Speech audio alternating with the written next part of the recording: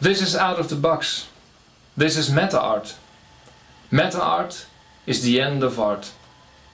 This may look like a painting, but it is something completely different. This is a meta painting, meaning something rooted in good old painting, but unfolding its branches into dimensions unreachable for art as we know it.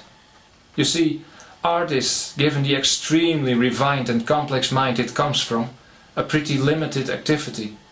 Even in the best of cases, it only explores a minor part of the grand possibilities of the human mind. Meta art is beyond that. Finally, art has been the long childhood stretching out towards the paradoxical maturity of meta art. Art has been from a prison reaching for freedom. Meta art is staying out of that prison. Art is defined by its limits, meta art by the lack of such limits.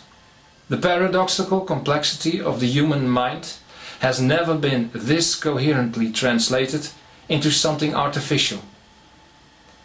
Meta art is the end of art. Meta art is a small step for the meta artist, but a huge step for mankind.